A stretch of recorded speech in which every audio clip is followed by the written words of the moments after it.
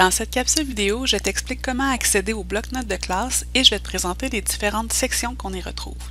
Première des choses, on ouvre Team, on sélectionne le menu Équipe et on entre dans l'équipe de notre enseignant.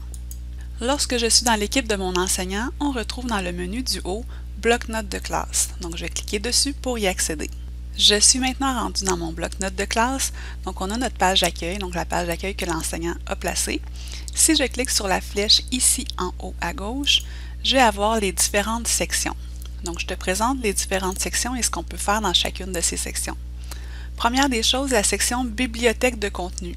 Dans cette section, c'est le contenu que l'enseignant va te partager.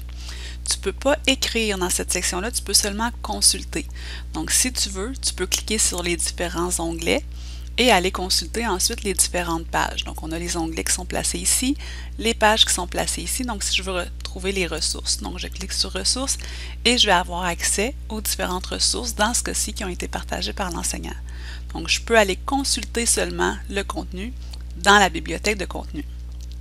Le deuxième espace, c'est l'espace de collaboration. Donc, dans cet espace-là, je, vais avoir, accès à l'écriture également.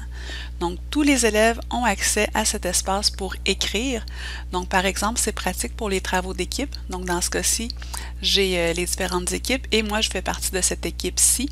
Donc, on peut aller décrire notre rôle, puis on peut être plusieurs personnes de l'équipe à écrire dans la même page. Donc, euh, tout le monde a accès en écriture, y compris l'enseignant.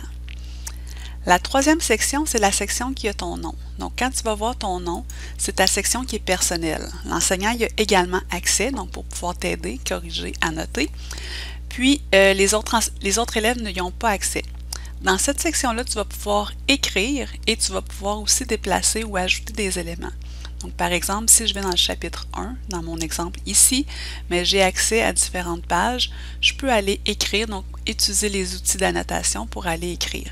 Donc, je vais t'expliquer comment fonctionnent les outils dans une autre capsule, mais pour l'instant, sache que dans ta, section, tu vas pouvoir aller faire euh, des ajouts de pages et faire des annotations également sur les documents.